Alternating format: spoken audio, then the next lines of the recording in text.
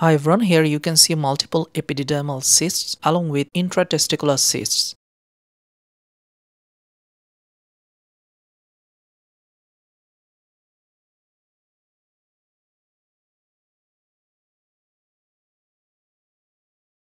They are multiple in number at the epididymal head.